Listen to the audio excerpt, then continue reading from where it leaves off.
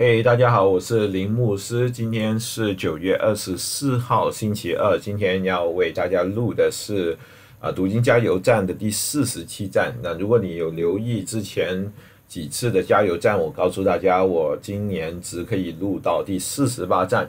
四十八站我们就读完旧约圣经了，所以我就暂时要停一下来。所以今天是我们倒数里面的第二个。那如果你之前嗯。啊，参加了我们的读经计划，你应该到现在为止就差不多就快要读完旧约圣经。如果你迟开始，或者是你还继续要读新约，还是呃你中间慢了等等，无所谓，只要你努力。因为我们的读经计划一直是从二零一八年到二零二零年，在你读的时候，你也求你真的去思想整本圣经是怎么样连在一起。通过主耶稣基督把旧约、新约连在一起，那所以我们当我们读今天的经文的时候，不要只是单单读那个故事，而是看看它在整个救恩历史里面是怎么样去连上主耶稣基督。如果你啊有跟着我们的读经计划，今天我们应该读到的是九月二十四号是西班牙书。啊，西班牙书只有三章，所以今天我们就把西班牙书读完了。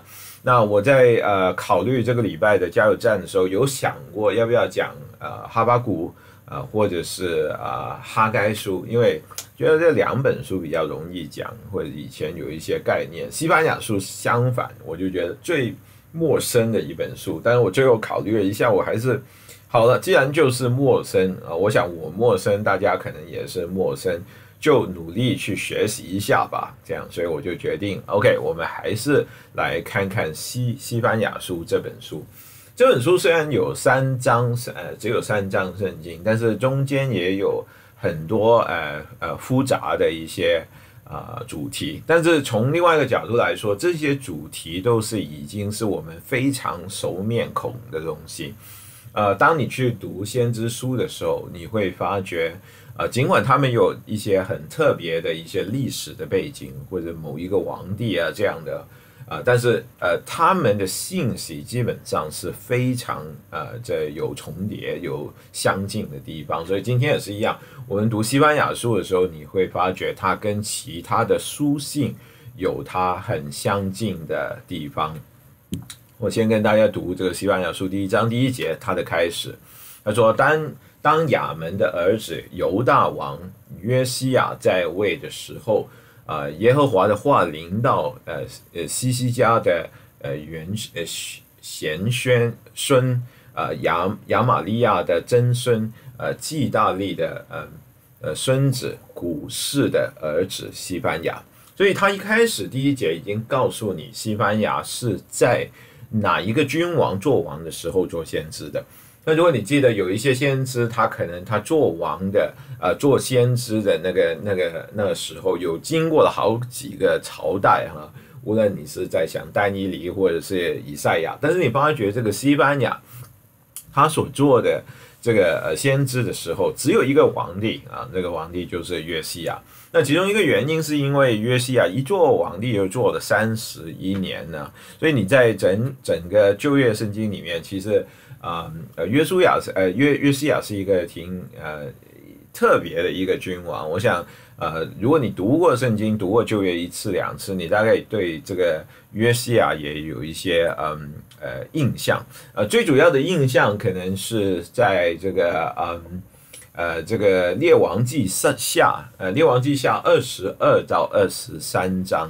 呃，如果你去看列王记二十二到二十三章的时候，就是讲呃约西亚这个皇帝。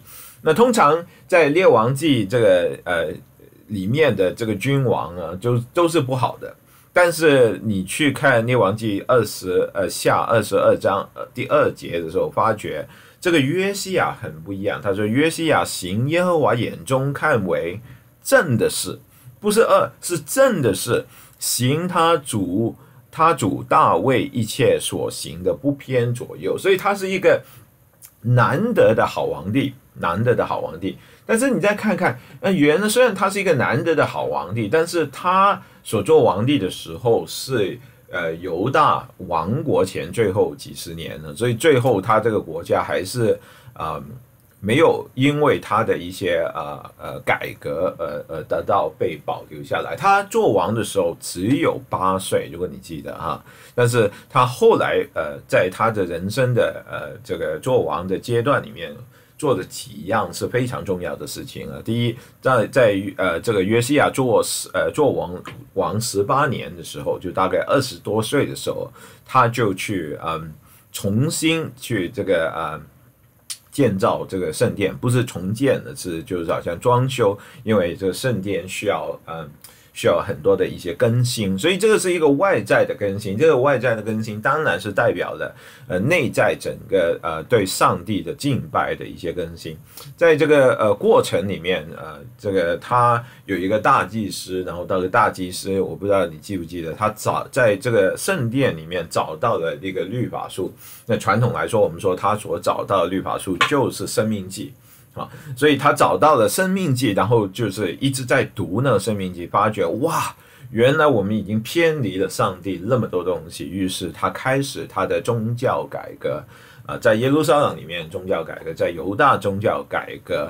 那其中一个非常重要的，如果你还是回去看这个呃《列王记下》二十二、二十三章的时候，他就。啊，去重新啊去守这个逾越节。那原来逾越节已经被忘掉，你可以想象吗？逾越节是整个以色列人历史里面可能最重要的一个节日，它代表了以色列人的出埃及的救恩。所以，当你没有了这个节日，就等于我们今天没有了圣诞节、复活节、受难节，就等于你根本你你在信的到底是信什么，都呃变成了一个一个很大的问题。所以你看到这个。呃，约西亚他应该是一个非常好的君王，所以你也可能心里面想，哇，这个这个西班牙在他的时候做先知应该是呃挺容易、挺不错的，是不是啊？但是呃，可是的是，嗯，首先这个更新是有一点，我们英文说 too little too late 啊，这个更新的太少太慢也是太迟了。那后来我们也看到这个约西亚他。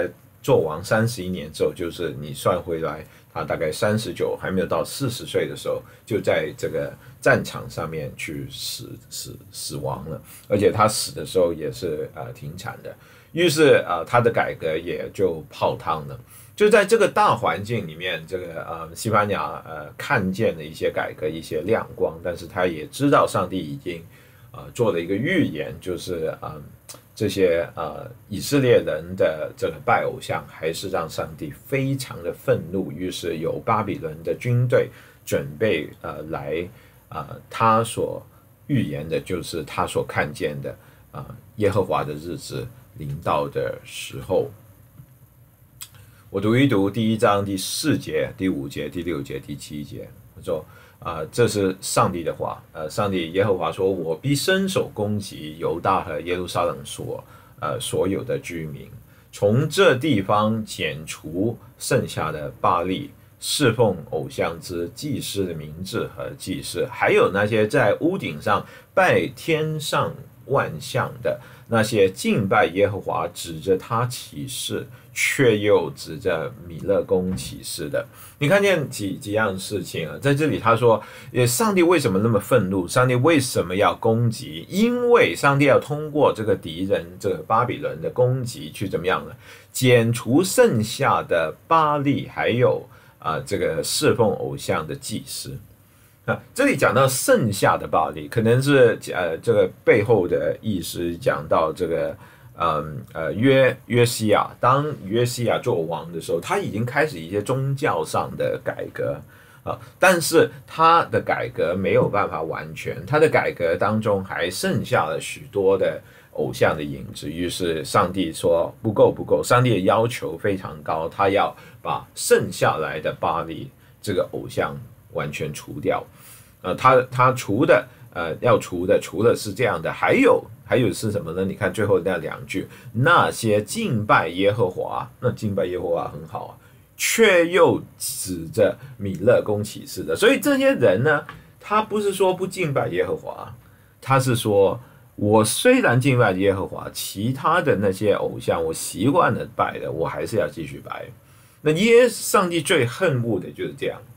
啊，你当你你你去拜巴利啊米勒宫，他当然恨恶，但是你呃呃你你说好，我愿意回来敬拜耶和华，但是你却不放手这个巴利米勒宫，上帝心里面还是非常的愤怒。这样的人，这样啊，就好像多买一个保险，或者是多拜一个神明，没什么大不了。上帝恨恶的，这是西班牙一个很重要的信息，并那些转去不跟耶和华、不寻求耶和华、也不求问他的，在主呃在主耶稣呃在耶和华面前要静默无声，因为耶和华的日子快到了。你们 shut up，你们要静下来，你们要默想耶和华的日子。耶和华的日子要临到你们当中。圣经学家告诉我们在呃第一章的里面，呃西班牙画的一些图画，这图画跟创世纪第一章里面的刚刚好是一个相反。创世纪的呃创造是从这个啊一个很混沌的这个黑暗的社会，呃这个这个处境啊把它变成有次序然后光明的一个世界。但是现在啊那个刚好相反。上帝要把这个以色列民，要把耶路撒冷，要把犹大地变成混乱与黑暗，是通过了呃一个呃巴比伦这个这个军队，为的是什么？因为啊，他要剪除当中的啊偶像耶和华的日子。如果你记得上一个礼拜我在嗯。我们讲的是《俄巴底亚书》，《俄巴底亚书》也有讲上帝的日子。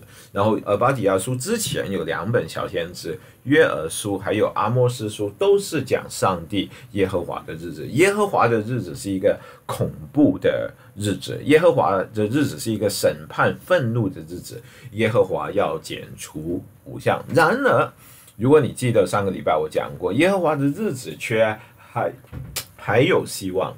呃，就好像约珥书里面说，啊，凡求教、求求告耶和华的，啊，必得必得到呃救恩这样。所以我们很难想象，我们觉得哇，上帝很愤怒，上帝来。那我想到什么事情？当上帝已经开始动身的时候，都已经太迟。但是圣经告诉我们，上帝的日子尽管是啊非常的嗯呃愤怒，但是上帝啊。还没有最后的审判之前，我们还是有希望。当然，你不要等到最后，最后你说，哎，我最后最后我就再回转，你那个回转也不一定是真的。上帝告诉我们，我们应该要站站兢在他的面前，然后我们悔改啊，我们还是有希望。我想跟你看《西班牙书》第二章第一二三节，是讲到啊，那日子来的时候，我们还有一个盼望，不知羞耻的国民啊！趁命令啊还尚未尚未呃发出，耶和华的烈怒尚未临到你们，你们应当聚集聚集起来，世上遵守耶和华典章的谦卑的人呐，你们都当寻求耶和华，寻求呃谦卑，或许在耶和华发怒的日子里面，你们可以得到呃隐藏，隐藏就是。呃，拯救的意识，呃，上帝呃要我们，他愿意万人得救，不愿意一人沉沦。他希望我们在他日子来临之前、审判之前可以回转。呃，没想到在西班牙是一个那么嗯呃，上帝非常愤怒的一个一个主题的当中，居然还是有上帝的拯救。不单指呃，在上帝日子来临的时候，我们还有一个拯救的机会。到西班牙书最后的结局，第九呃三章第九到二十节的时候，更加是一个应许的成就。这个应许是讲到亚伯拉罕的应许，就是通过亚伯拉罕，或者是跟亚伯拉罕的后裔，这个万国万民都必得到上帝的呃福气啊。这个是在上帝洁净了这些嗯。偶像之后发生的事情，我跟你读最后的啊几节圣经。那时我要改变万民，使他们有洁净的嘴唇，好求救耶和华的名，同心合意侍奉我耶和华。啊，你的上帝在你中间大有能力施行拯救，他必因你欢欢心喜乐，在你在他爱中静默。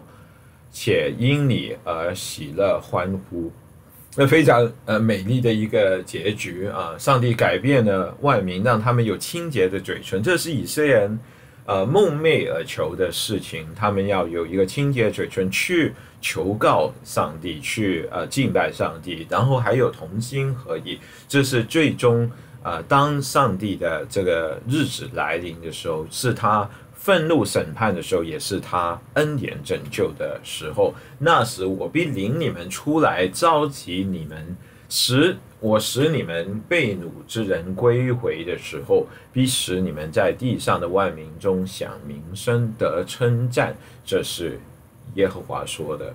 所以你看，这个这个是最后一节了啊，这个是一个大团圆结局的一个故事。当西班牙在写的时候，其实。啊，贝鲁还没有发生呢，他还有好多年，还有几十年才到贝鲁。他已经预言的这个贝贝鲁被被呃发生，但是他也预言到贝鲁之后有一个回归，然后不单只是这样，以色列人不单只是得到呃这个救恩，还有他会在万民当中呃做上帝的见证，然后被万民所接纳。这是当然讲到新约的福音书，这是耶和华说的。呃，这两天我在想西班牙的时候，看到一个呃很有趣的文章。他说，呃，在整本呃旧约圣经里面呢，有十本旧约书本呢是没有在新约里面被引用的。那第一，呃，新约旧约有三十九本，那当你说有十本没有被引用的话，也是说其他二十九本有引用，对不对？所以你看到新约跟旧约是分不开的。那第二，当我们说这十本书没有在新约圣经里面被引用，不是说他们没有出现过，或者他们所说的主题没有出现过。如果你之前有听我讲到，我我一直在讲，我说当新约要用旧约的时候，有几种用法。第一是明引啊，明显的引用，就是你看到那几个字，你看到那个那一句话，你知道是从哪里出来。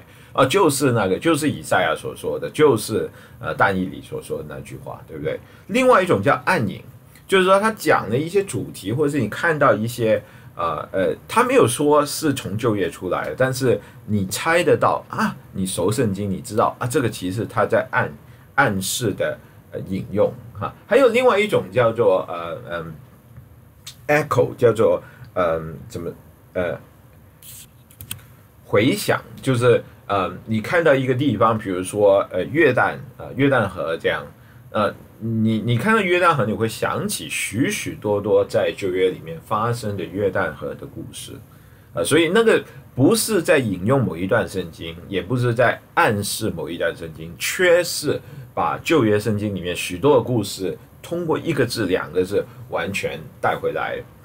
所以呃，当这个呃作者他写这个书的时候，他就说 OK。啊，我他主要的要告诉我们，就是旧约跟新约是分不开的啊。呃，二十九本已经是有明显的引用，那还有十本是没有明显的引引用，是哪十本呢？啊，就这十本了。啊，第一本是十世纪，四世纪。那四世纪，如果你以前听过我讲四世纪，你知道四世纪是呃，那是以色列人呃国中没有王，个人做自己眼中所呃看为对的事情，当然。呃，这个呼喊就是我们需要一个君王，这个君王就是呃大卫啊，所以你一有一到大卫，你就知道这本书一定跟耶稣有关系，因为耶稣是大卫之子。那同样，第二本书是路德记，路德记没有被呃直接的引用，但是路德记其实也是最后是讲到路德的后代是大卫，对不对？所以大卫也是呃跟耶耶稣连上了。第三本是以斯拉，呃呃。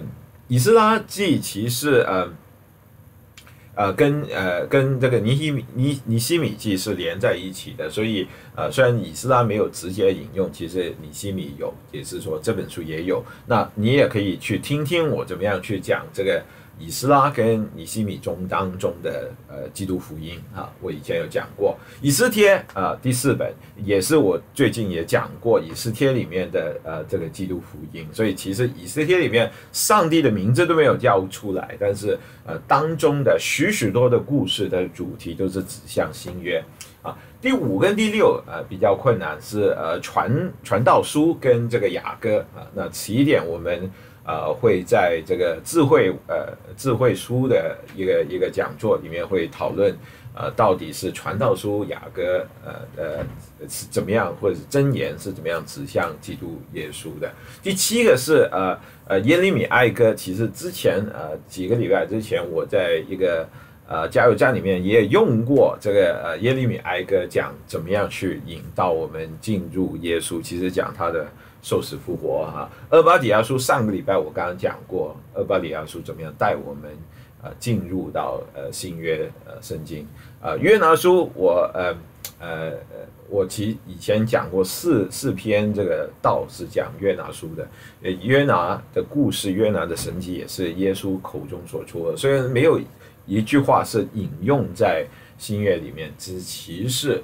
约拿书是呃，是真的是呃，很清楚的指向呃耶稣基督。最后一本是西班牙，就是我们今天讨论的这本书。我想西班牙是表面上是最呃呃不是很清晰是怎么样呃连上去，但是呃你如果你看我刚才所讲的一些很比较呃呃这个一些主题的呃发挥呃耶和华的日子。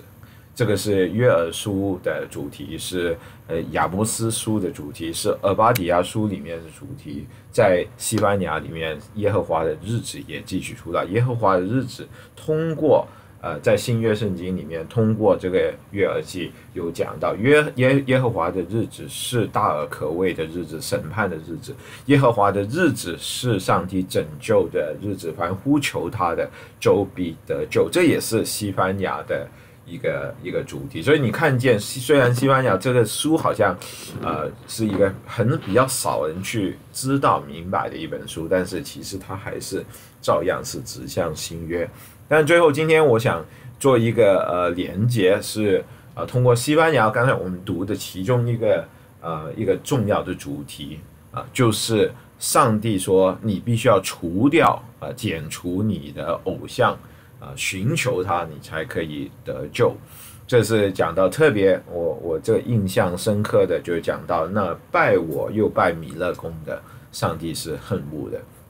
在新约圣经，我们想到主耶稣基督的救恩啊，他来呼求我们去回转的时候，他也特别讲到这个问题：不要为自己在地上积出啊财宝，地上有虫子咬，有锈坏，有贼。啊，挖洞来偷，在要在天上积呃呃积储财宝，呃天上没有虫子咬，啊不会锈坏，也没有贼挖洞来偷，呃这里其实上帝不是叫我们不要积储财宝，是问题是 location location location，你的财宝在哪里？上帝其实在鼓励我们，你必须要继续，呃你必须要。呃呃，为未来去积蓄财宝，你必须要呃想财宝，你必须要呃去追求这个财宝。这个问题是你的财宝在哪里，在地上还是在地上？啊，当然，上帝是在说的时候，是我们怎么样用我们地上的财宝。你的财宝在哪里，你的心也在哪里。第二十四节把整个财宝的比喻说出来，一个人不能服侍两个主。他不是恨这个，就是爱那呃爱那个，就是重这个轻那个。你们不能又服侍上帝，又服侍马门。上帝说，你不可以有两个主，你不可以又拜耶和华，又拜米勒公，你不可以呃侍奉上帝，越又把你的人生侍奉地上的财宝、地上的名利。这是上帝给我们的一个非常大的警告。这也告诉我们，我们要拥拥抱耶稣基督的救恩的时候，我们必须是一个天路客，我们要离开地上的呃追求，而是全心全意的追求天上的事情。所以今天我的主题是剪除啊偶像一切的偶像，呃，寻求专心独一的寻求真神，这是西班牙书给我们的一个主题思想。愿大家都跟随着耶稣，啊，单单的仰望天上的事情。